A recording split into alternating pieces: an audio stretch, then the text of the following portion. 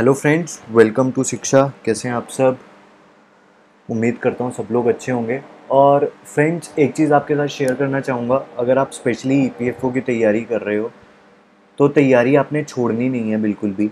जिन बच्चों की अच्छे से तैयारी चल रही थी, आपने उसको टच में ज़रूर रखना है रिविज़न ज़रूर करनी है एम ज़रूर करनी है। अगर आप और कोई एग्ज़ाम देने का भी प्लान कर रहे हो तो कुछ टाइम अगर आपकी प्रिपरेशन हो भी चुकी है तो वो भी कुछ टाइम दिन में एक घंटा, दो घंटा अपनी ईपीएफओ की रिविज़न के लिए आपने रखना है, ठीक है?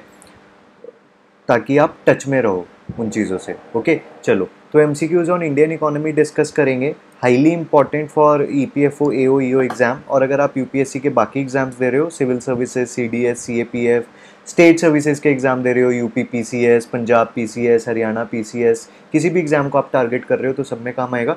बेसिक क्वेश्चंस लेंगे इस वाले लेक्चर में हम देखोगे, बहुत बेसिक क्वेश्चंस लेंगे, लेकिन वो क्वेश्चंस बहुत इंपॉर्टेंट रहेंगे आपकी कंसेप्ट क्लैरिटी के लिए। आपका कंसेप्ट क्लियर होगा और कई बार इस तरह के क्वेश्चन इतने बेसिक क्वेश्चन ही एग्ज़ाम में सॉल्व नहीं हो पाते हैं, ठीक है? तो लेक्चर फोर है ये पीडीएफ डिस्क्रिप्शन में लिंक अवेलेबल है, वहाँ से आप डाउनलोड कर सकते हैं। एंड ई के लिए अगर आप पेड एम सी कोर्स लेना चाहते हैं तो उसका भी डिस्क्रिप्शन में लिंक अवेलेबल रहेगा। ओके चलिए, पहला क्वेश्चन देखते हैं। सिंपल सा क्वेश्चन है। इन्फ्लेशन इज़ कॉज्ड बाय इतना छोटा सा क्वेश्चन इन्फ्लेशन किस वजह से होती है? सबसे पहले increase in supply of goods अगर गुड्स का सप्लाई जो है, वो इंक्रीज हो रहा है।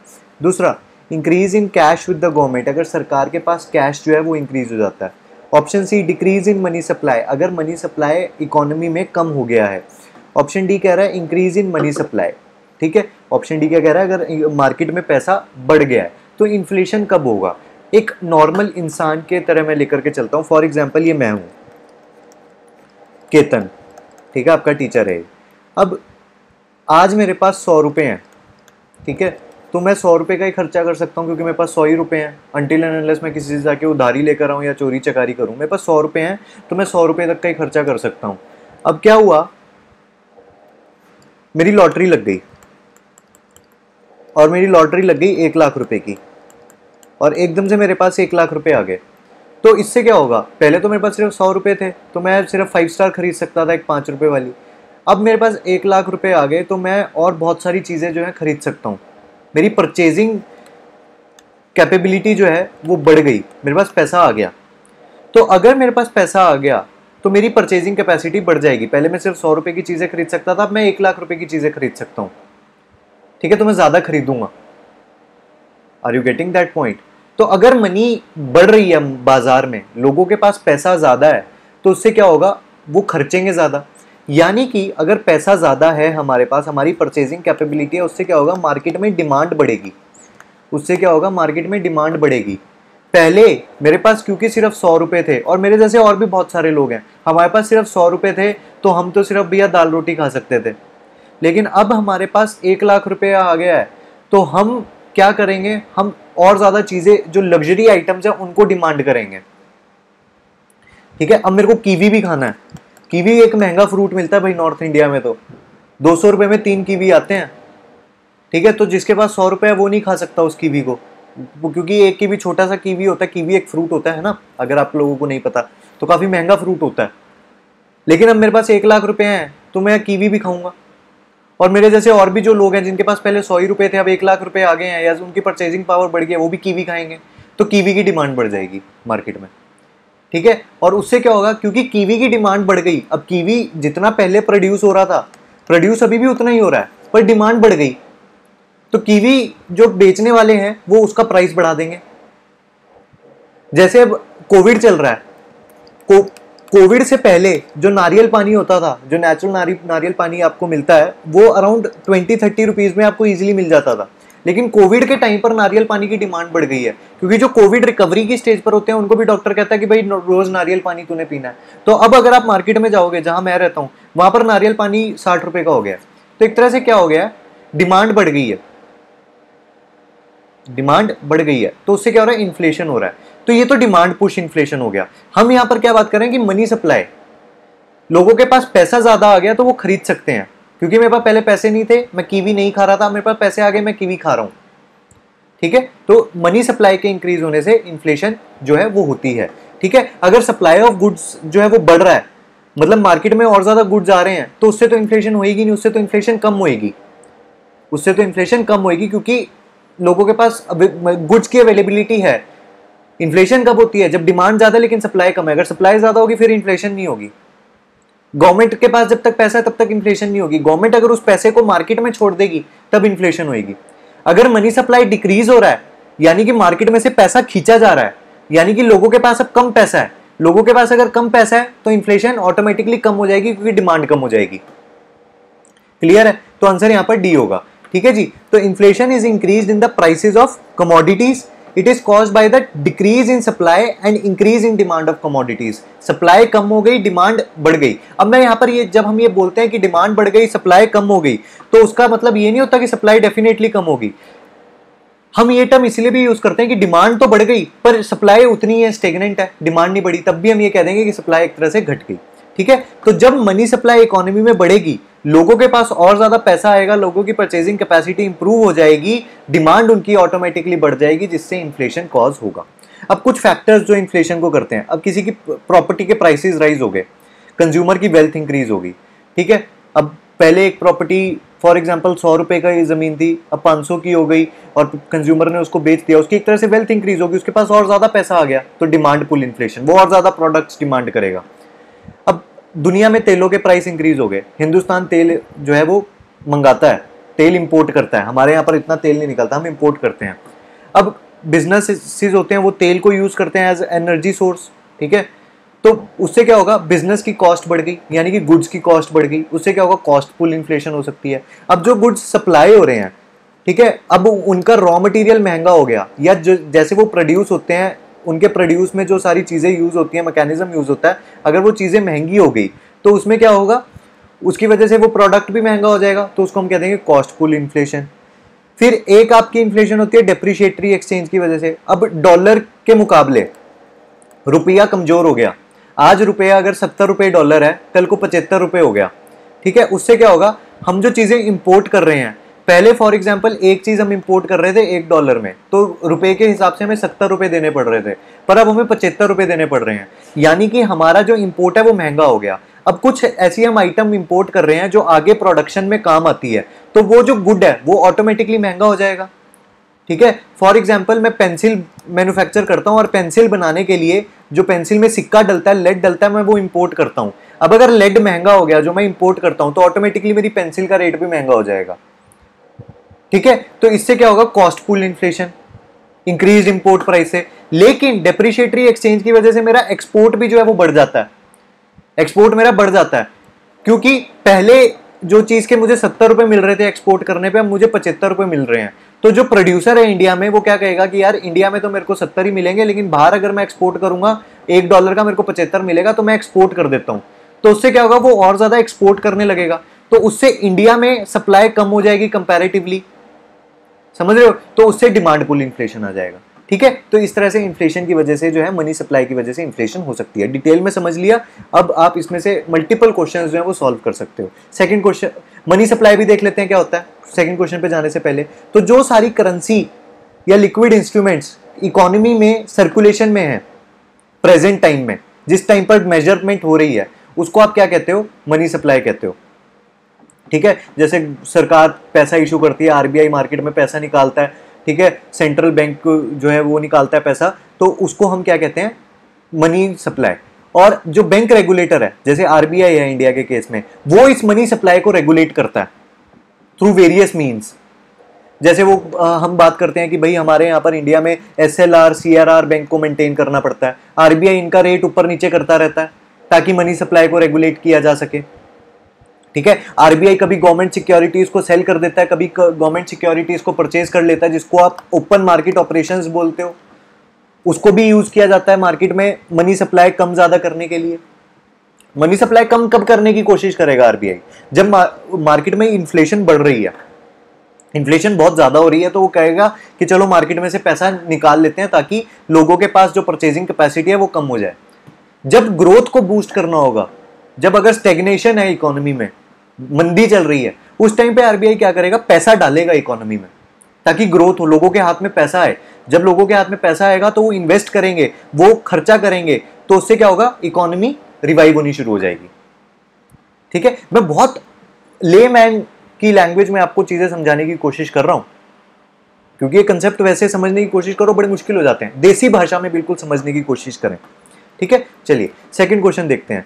अगेन इन्फ्लेशन से related the process of curing inflation by reducing money supply is called अब हमने देख लिया मनी सप्लाई अगर बढ़ रहा है तो इन्फ्लेशन हो रहा है. अब अगर आपने इन्फ्लेशन को रोकना है मनी सप्लाई को कम करके तो उस प्रोसेस को क्या कहते हैं? Cost push inflation down pull inflation या demand pull inflation disinflation या फिर रीफ्लेशन अब देखो इजीली आपको कॉस्ट पुश इन्फ्लेशन और डाउन पुल इन्फ्लेशन तो मैंने बता दिया. उसमें वो तो एक टाइप की इन्फ्लेशन हो गई. उसमें कुछ रिड्यूस नहीं हो रहा इन्फ्लेशन में. हम यहाँ पर कह रहे हैं कि अगर हम कोई प्रोसेस फॉलो कर रहे हैं इन्फ्लेशन को क्योर करने के लिए तो ए और बी तो हो नहीं सकता। रिफ्लेशन भी नहीं है इसका आंसर आंसर होगा disinflation so answer will be C ठीक है एक्सप्लेनेशन देख लेते हैं। तो डिसइन्फ्लेशन क्या होता है? Slowing of the pace of price of inflation बच्चे कंफ्यूज हो जाते हैं दो टर्म्स में डिसइन्फ्लेशन और डिफ्लेशन में। देखो, एक होती है इन्फ्लेशन और एक होती है डिफ्लेशन इन्फ्लेशन क्या होती है? जब प्राइसेस कमोडिटीज के बढ़ रहे हैं इंक्रीज हो रहे हैं। आज दो रुपए का पेन तीन रुपए का हो गया। तो वो डिस इन्फ्लेशन है।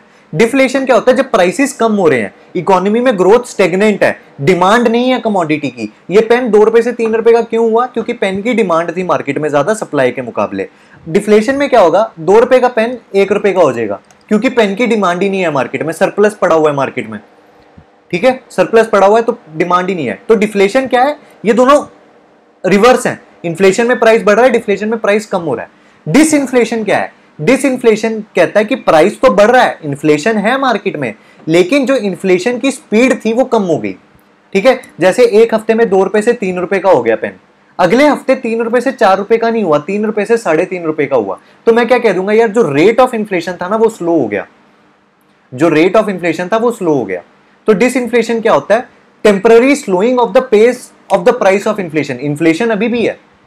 लेकिन जो उसका रेट ऑफ़ इन्फ्लेशन है, वो चेंज हो गया। ठीक है? And this is unlike inflation and deflation inflation और डिफ्लेशन तो दो ऑपोजिट डायरेक्शन हो गए। मैंने आपको यहाँ पर समझा दिया ये चीज़। Okay okay? अब डिस इन्फ्लेशन भी ज़रूरी है इकोनॉमी में, क्योंकि वो ओवर हीटिंग होने से बचाएगा। ऐसा नहीं होना चाहिए ना कंटिन्यूसली प्राइसेस बढ़ते जा रहे हैं, एक ही स्पीड के ऊपर, एक ही रेट के ऊपर। रोज हर हफ़्ते पाँच परसेंट रेट बढ़ गया, हर हफ़्ते, हर महीने पाँच परसेंट रेट बढ़ गया तो उससे क्या होगा? इकोनॉमी ओवर हीट हो जाएगी। प्राइसेस एक टाइम पे, एक टाइम ऐसा आएगा कि जो लेमैन है उसकी रेंज से बाहर निकल जाएगा। जैसे प्याज के साथ होता है, आलू के साथ होता है। प्याज के साथ ज़्यादातर होता है। अनियन में देखते हो ना आप, एकदम से सौ रुपए, डेढ़ सौ रुपए किलो हो जाता है प्राइस वो वाली चीज़, ठीक है? लेकिन डिसइन्फ्लेशन का एक डेंजर भी है। अगर जो रेट है, वो कंटिन्यूसली फॉल करता जा रहा है इन्फ्लेशन का एंड अल्टीमेटली इन्फ्लेशन को वो ज़ीरो तक ले गया तो मतलब कि हम डिफ्लेशन की तरफ़ जा रहे हैं। और डिफ्लेशन किसी भी डेवलपिंग कंट्री के लिए अच्छी नहीं होती। क्योंकि उससे क्या, उसका क्या मतलब होता है कि आपकी इकोनॉमी में ग्रोथ रुक गई। आपकी इकोनॉमी में डिमांड नहीं है। तो एक डेवलपिंग कंट्री के लिए तो डिमांड और ग्रोथ बहुत इंपॉर्टेंट होती है। क्लियर चलिए थर्ड क्वेश्चन देखेंगे। The term stagflation once again related to inflation only, the term stagflation refers to a situation where stagflation का क्या मतलब होता है?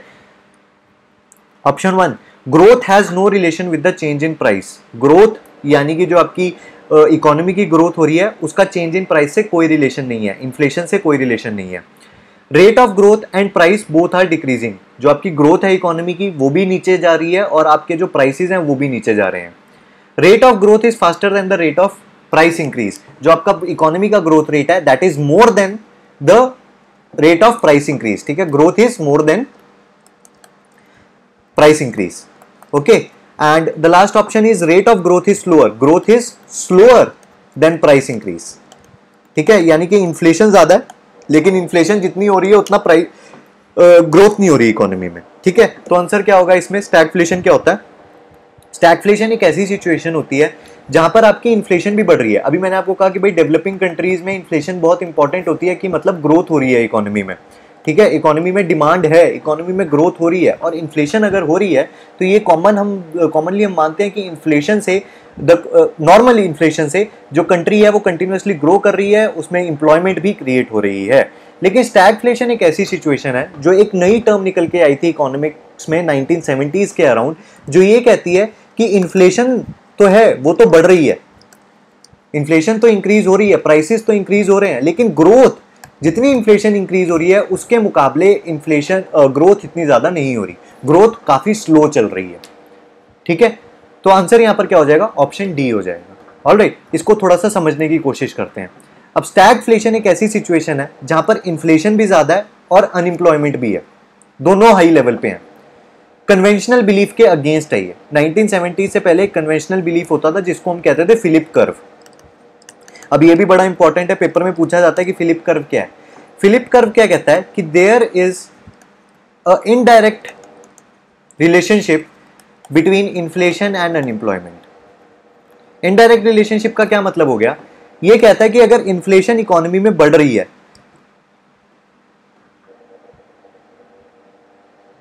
sorry not indirect there is a direct relationship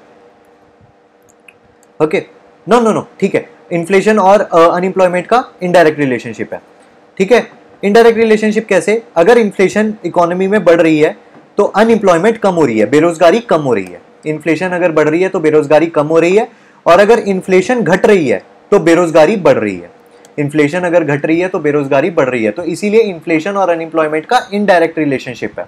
ठीक है जी? तो ये कहता है। लेकिन अब स्टैगफ्लेशन क्या कह रहा है? कि इन्फ्लेशन भी बढ़ गई और अनएम्प्लॉयमेंट भी बढ़ गई। यानी कि डायरेक्ट आ गया तो ये फिलिप कर्व को रॉन्ग प्रूव कर देता है। और ये पहली बार देखने को मिला 1970s में यूएस और कुछ यूरो अमेरिकन इकोनॉमीज में।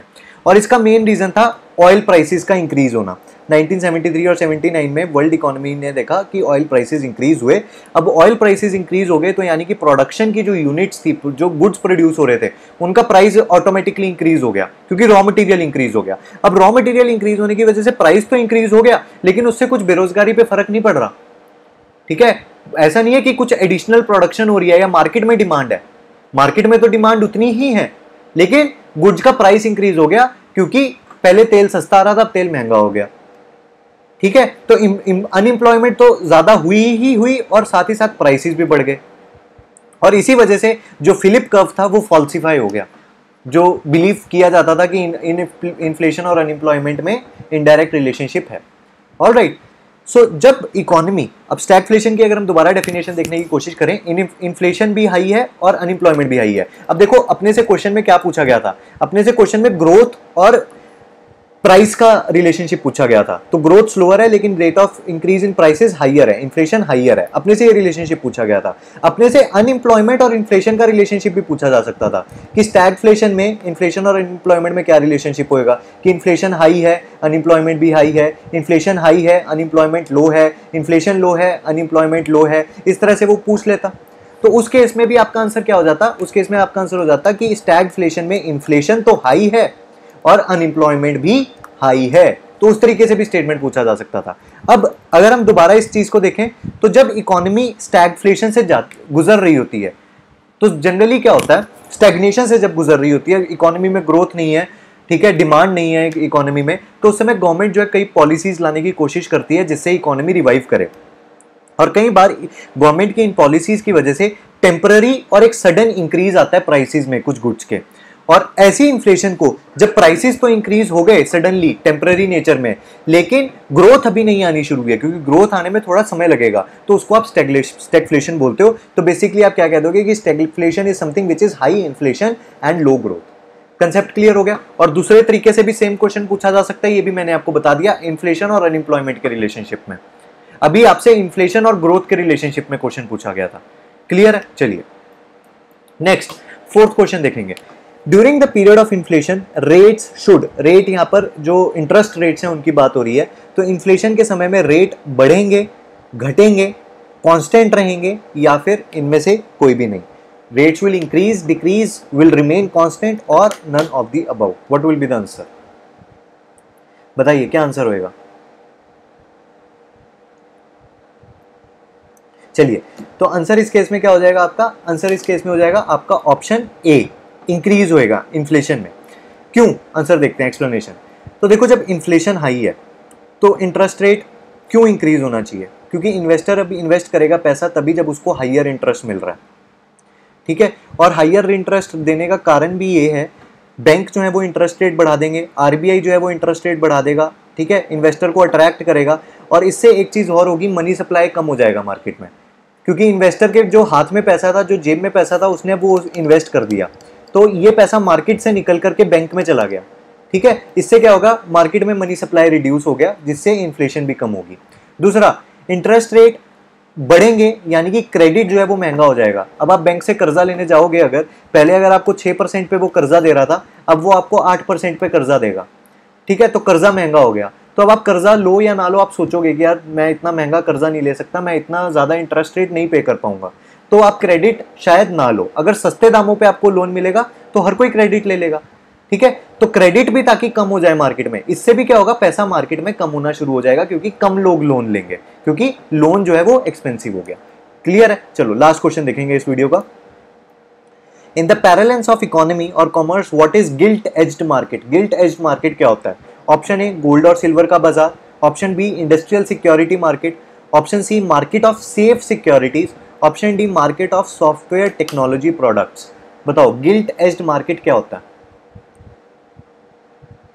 Gilt edged market.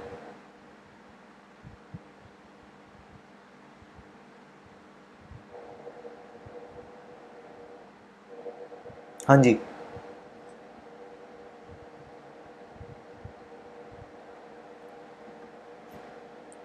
तो आंसर क्या होगा? आंसर होगा इस केस में आपका option C, market of safe securities, okay? तो Gill edged securities, basically high grade bonds होते हैं, जो ज़्यादातर नेशनल गवर्नमेंट्स या बड़ी प्राइवेट ऑर्गेनाइजेशन रिलीज़ करती हैं और राइट एंड इसकी स्टार्टिंग जो है बैंक ऑफ़ इंग्लैंड ने शुरू किया था और इसको गिल्ट एज सिक्योरिटी इसीलिए बोलते हैं, क्योंकि जिस पेपर पे ये जो सर्टिफिकेट इशू किया जाता था, जो लोग ये सिक्योरिटी परचेज करते थे तो उनके एजिस जो है ऐसे गिल्ट एज होते थे। तो तभी इनका नाम जो है, गिल्ट एज सिक्योरिटीज़ पड़ गया। और ये वो इन्वेस्टर्स बेसिकली इसमें इन्वेस्ट करते हैं जो रिटर्न्स जो है प्रेडिक्टेबल रिटर्न्स एक्सपेक्ट करते हैं और लिटिल रिस्क ऑफ़ डिफ़ॉल्ट हो जिनमें। क्योंकि ये जो सिक्योरिटीज़ uh, होती हैं नेशनल गवर्नमेंट्स इशू करती हैं तो गवर्नमेंट सिक्योरिटीज़ को वैसे ही सेफ़ कंसिडर किया जाता है। या जो काफ़ी अच्छी प्राइवेट ऑर्गेनाइजेशन होती हैं जो बड़ी ऑर्गेनाइजेशन होती हैं जैसे अमेजोन या कोई भी बड़ी ऑर्गेनाइजेशन है तो वो इशू करते हैं तो इनमें कंपेरेटिवली सेफर होती हैं ये securities okay and these investment carry similar trades as United State treasury securities. तो यूनाइटेड स्टेट जो ट्रेजरी सिक्योरिटी होती है, उसको भी सेफ़ कंसीडर किया जाता है, क्योंकि यूनाइटेड स्टेट्स गवर्नमेंट उसे इशू कर रही है। ओके? तो सिंपल सा सवाल था और सिंपल से इसका आंसर था। ओके? चलिए। ऑल राइट तो अगर किसी को कोई भी डाउट हो लेक्चर हमारा खत्म हो चुका है, फिर भी कोई डाउट हो कमेंट सेक्शन में पोस्ट कर सकते हो या व्हाट्सएप कर सकते हो nine zero four one two double four six eight nine पर। या मेल कर सकते हो Shikshit at the rate G mail dot com पर। ठीक है? P D F link description में है, वहाँ से देख लेना। बाकी की वीडियोज़ आपकी स्क्रीन पर हैं, वो भी देख सकते हो। मिलेंगे अगली वीडियो में, तब तक के लिए all the best and bye bye